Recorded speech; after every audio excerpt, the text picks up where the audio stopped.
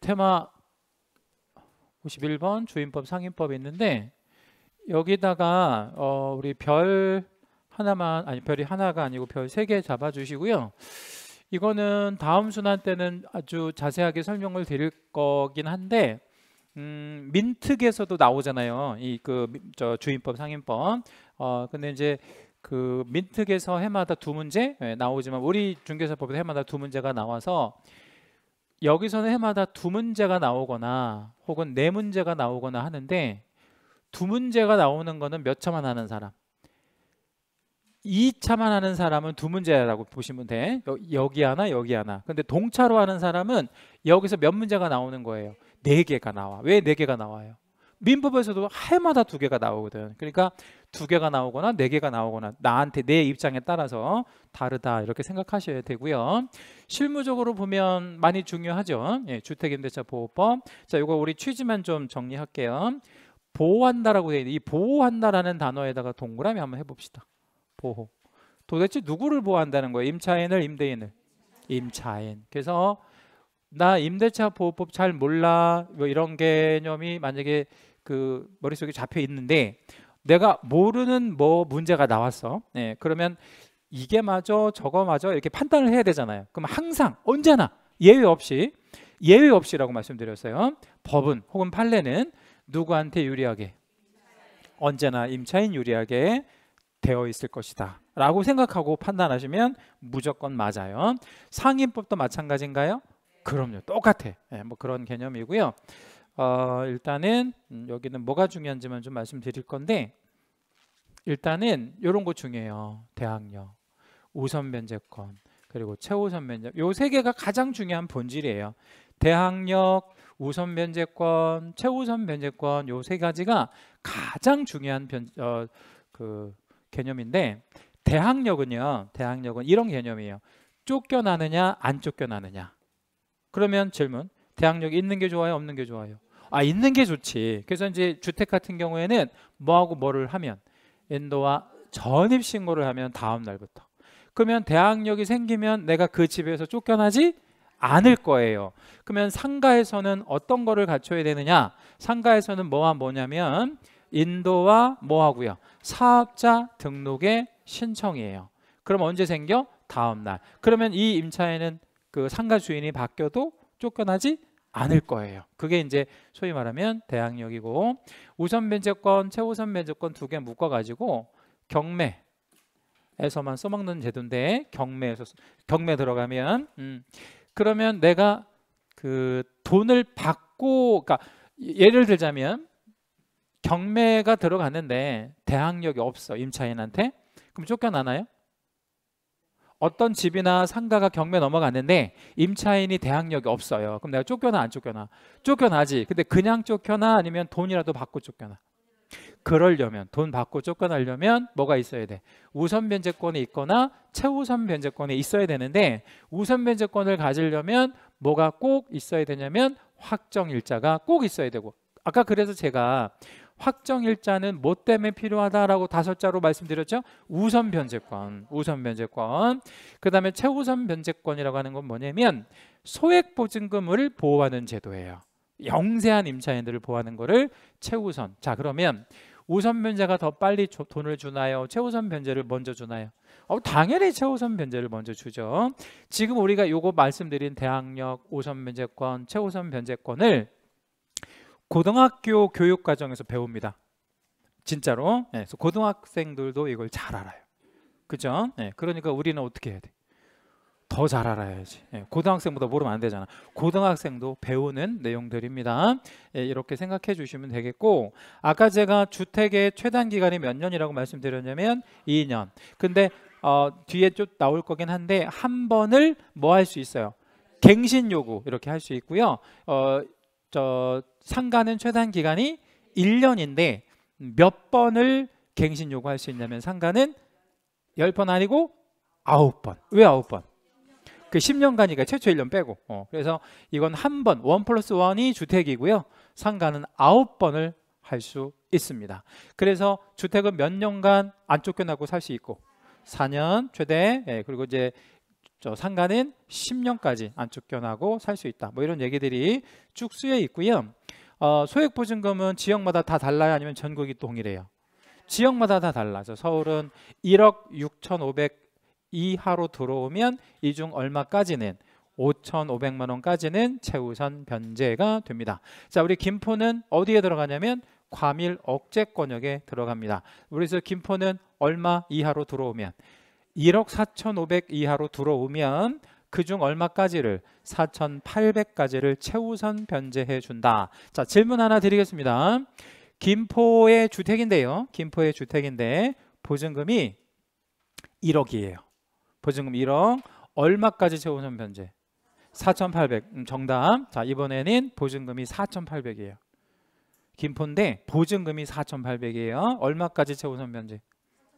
4,800. 자, 아주 좋은 답변 하셨어요. 자, 이번에는 보증금이 3,000이에요. 김포인데 보증금 3,000. 얼마까지 최우선 변제?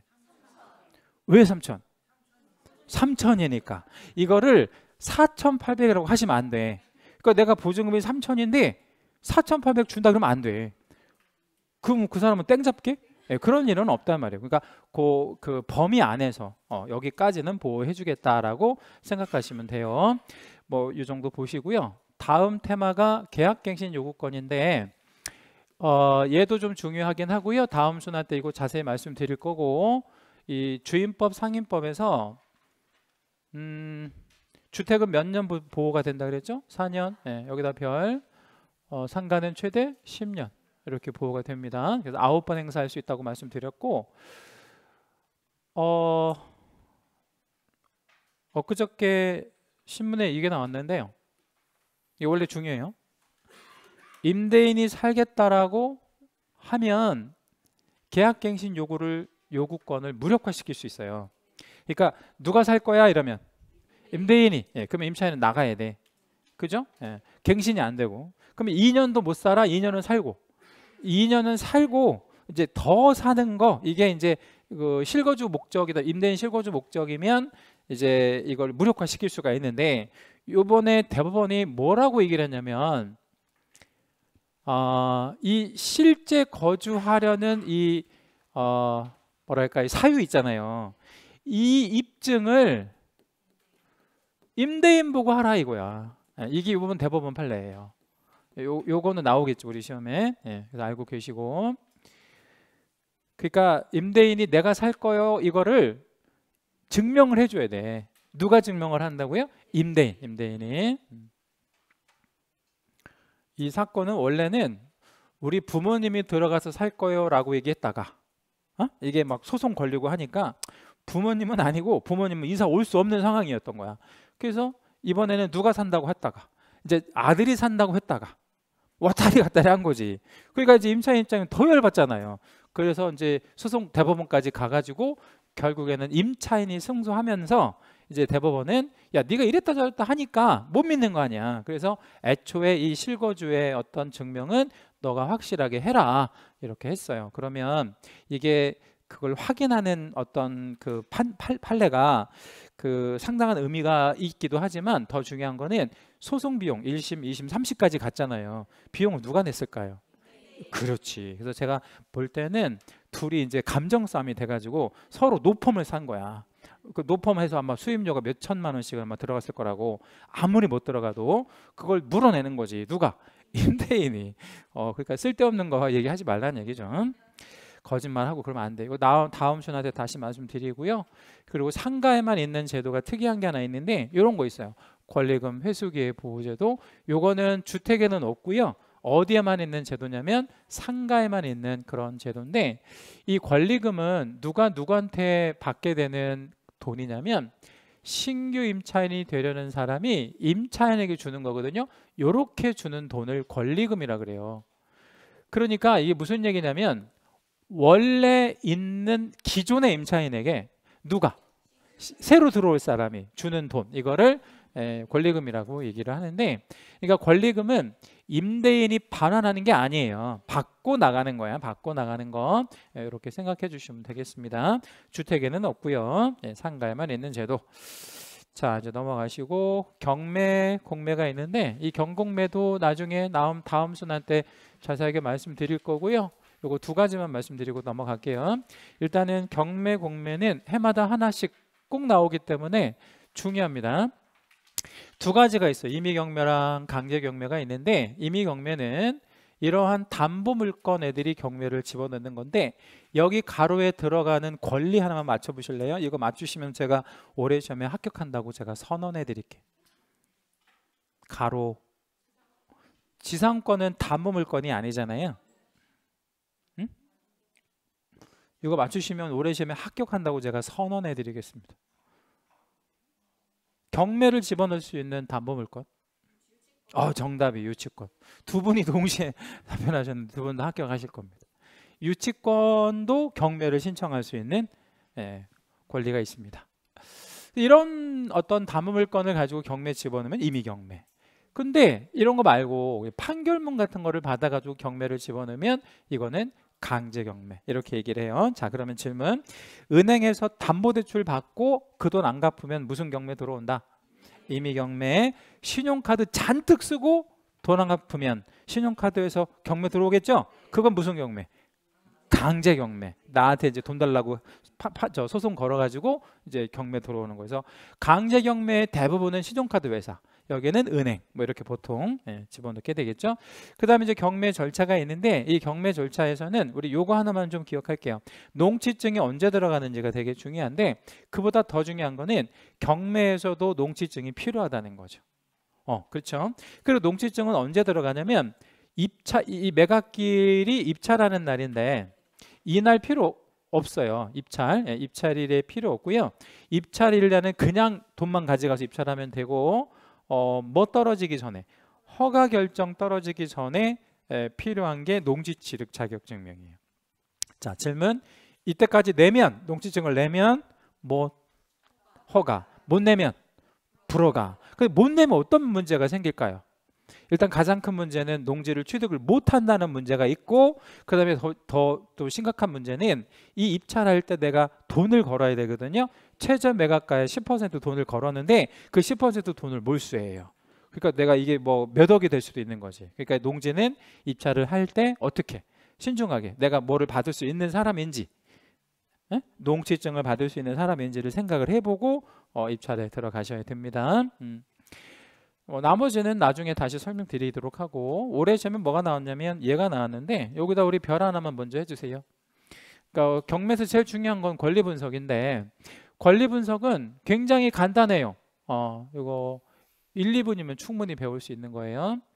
자, 권리 분석은 뭐냐면 경매되는 물건 위에 존재하는 여러 가지 권리들 있잖아요. 그거들이 그 권리들이 소멸될 건지 살아남을 건지를 분리하는 거예요. 이렇게 그냥 판단해 보는 거예요. 그걸 권리 분석이라고 얘기를 해요. 근데 이거를 분석하기 전에 우리가 기억해야 될 게 있는데 저당권, 담보가등기, 압류, 가압류 얘네들을 소위 말하면 뭐라 그러냐면 기준 권리라고 얘기를 해요. 기준 권리. 얘네들 기준 권리는 언제나 소멸되어진대요. 자, 얘네들이 뭐 한다고요? 언제나 소멸. 얘네들은 항상 지워진대. 경매 절차에서 얘네들은 항상 지워지는 기준이 되는 거예요. 기준이 뭐가 있어야 우리 분석을 할 거 아니에요. 그죠? 그러면 이 기준 관리보다 후순위 먼저 해볼게요. 후순위는 뭐에 대항할 수 없어요? 선순위 뭐? 기준 권리에 대항할 수 없잖아. 그러니까 얘네들은 무조건 소멸이에요. 그게 뭐라 하더라도 무조건 소멸이에요. 응? 그게 뭐 처분금지 가처분이든 뭐든 기준 권리에 대항할 수 없잖아요. 그럼 다 소멸이야. 아주 심플하죠. 근데 문제는 뭐가 문제예요? 선순위. 이 선순위는 두 개로 나눠요. 어, 배당을 받았느냐, 배당을 못 받았느냐 이렇게 이제 가리는데 요번 34회 시험에는 선순위를 냈을까요? 후순위를 냈을까요? 얘 냈겠지. 이건 너무나 간단하잖아. 이건 이걸 냈는데 뭘 냈냐면 전세권을 낸 거예요. 근데 전세권이 약간 어려운 게 전세권은 용익 물건이에요, 담보 물건이에요. 용익 물건이잖아. 그러니까 이 선순위 전세권이 배당을 받을 수도 있고 못 받을 수도 있어요. 그럼 만약에 배당을 받거나 못 받거나에 따라서 운명이 달라진다고. 그럼 못 받았으면 소멸하지 않는다를 달리 말하면 인수. 인수가 된다는 거는 떠안는다는 거예요. 매수인한테 이렇게 승게 된다. 어. 그 다음에 배당을 받았으면 소멸. 응, 이렇게. 돈으로 받았으니까. 이, 게 이제 정답이야. 그러니까 선순위 전세권이 배당 받았다 이러면 소멸이야. 못 받았으면 인수. 어, 그렇게 여러분 판단하시면 돼요. 근데 보통 이제 시험 지문에 주는 게 전세권 잘 나오고 지상권도 잘 나오는데 지상권은 지상권은 배당을 받았냐 못 받았냐 이거를 고민할 필요가 없어요. 전세권은 용익 물건이지만 담보 물건적 성질이 있잖아요. 그래서 전세권은 우선 면제를 받을 수가 있어. 그러니까 이거를 따지는데 지상권은 순수한 용익 물건이란 말이야. 그럼 지상권은 배당을 받을 일이 없어요. 그러면 선순위 지상권 이러면 항상 요거야. 왜요? 이건 배당을 못 받으니까 지상권은. 그렇죠? 예. 그러니까 제가 지금 말씀드리는 용어들 이 원리들은 제가 설명드릴 수가 없는 거야. 이건 누가 설명하셔야 돼. 그 민법 시간에 다 배우시 우선 면제권 이런 거 용익물권 이걸 제가 설명 못 드리잖아. 그러니까 민법 시간에 배운 지식을 여러분들 활용하시는 거예요. 자, 그러면 어 하나만 해볼까요? 예, 그 우리 용익물권에 지지전이 있잖아요. 지지전. 저는 이거 그 몇 년 전에 외웠냐면 몇 년 전이야? 이게 제가 대학 나온 지가 얼마야? 한 30년 전에 외운 건데 지금도 알고 있잖아. 지지전. 지지전이 뭐예요? 지상권, 지역권, 전세권. 그러면 지역권이 선순위래. 지역권. 어, 지역권. 그러면 소멸 인수. 이거는 배당을 받냐 못 받냐를 따질 필요가 없는 거야. 지역권도 순수한 용익 물건이니까 그럼 무조건 인수 이렇게 답변하시면 돼. 그럼 이거를 따지는 거는 뭐밖에 없냐면 전세권밖에 없어요. 그것만 조심하면 돼. 그러니까 그걸 요번 시험에 냈던 거고. 그렇죠? 네, 이런 정도 이해하시면 됩니다. 요거는 별 하나만 잡으세요. 이 그림 자체가 중요해요.